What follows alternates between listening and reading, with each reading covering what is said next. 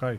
Messi, pa Messi je tad bio, ono, počinjao. Znači, on je tad bio, sećam se te utakmice prve kad je igrao, to je bio, e, baš sam bio na stadionu kad je, kad je bila utakmica, e, to je trofej Godo, to je u stvari ona kao utakmica prva pred e, prvenstvo, u pripremnom periodu, pa prva pred e, prvenstvo kad se predstavlja ekipa i kad se pozove neki od, mislim da je igra, da su igrali protiv Juventusa, ovaj, uvek je neki veliki protivnik i tu se napuni stadion i onda pozdrave sve nove igrače, ako je novi trener, oni se obraćaju pre utakmice i tu je Messi igrao prvu utakmicu i tu sam gledao, tu je dao dva gola protiv protiv, tad je bio klinac on s dugom kosom ušao je ne znam u 60. 70. minutu i ovaj i i tad se videlo da će da bude čudo mislim da da ja sam ono Maradonu sam gledao, Pele ja se ne sjećam, ali ovaj ali ja mislim da bolji igrač eh, od Mesija ovaj nije postoji. Ja ono što sam video za mene najbolji igrač koji sam ja gledao i imao sam priliku uživo da gledam to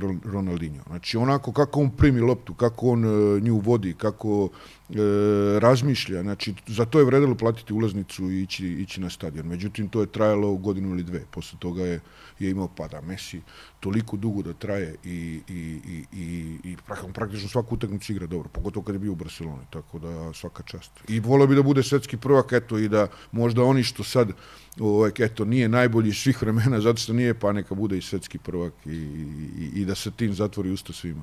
Pa pazi, vidi se da si igra u Barceloni, jer ovi što navijaju za Real pričaju druge priče, mislim, o jednom Portugalcu. Pa na šta, ja mogu da shvatim da recimo... Mislim, razumeš da, da je, ok, ima ta, taj kvalitet Mesija koji je neosporan i tako dalje, tako dalje, ali čovek, ovaj drugi, je bio najbolji u svakoj zemlji u kojoj je igrao. I ono, odeš u Manchester United, pa odeš u, u Real, pa odeš u Juventus, i svuda budeš najbolji. Koliko je to teško, mislim, sam znaš, sportista si, sad promeniš ligu u Špansku, odeš u Nemačku i ti odmah budeš, budeš i tu tata. Mislim, jedan Ivano Balić, pitanje da li bi Bundesligi bio najbolji ili bi ga polomili tamo u nekom Indenu u trećem kolu. Pa na šta, mislim da svaka čast za Kristijana, svaka čast i full respekt za njegovu karijeru i za sve ono što je, što je pokazao i kako igrao i titule što je osvojio.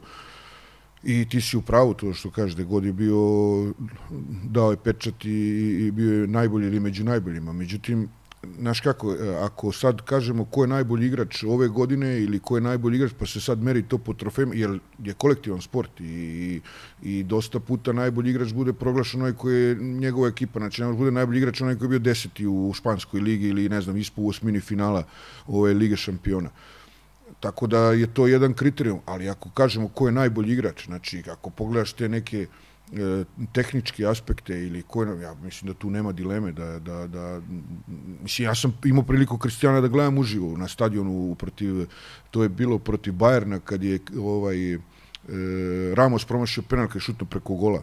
E, mislim da to bilo polufinale Lige šampiona. I sedeo sam iza, iza gola, znači Kristijano kad protrči to promaja, znači to duva vetar. Mislim, ono Krdo je. Znači to je, to je nešto neverovatno bilo, on je vrh, ali ne znam, meni se više sviđa Messi.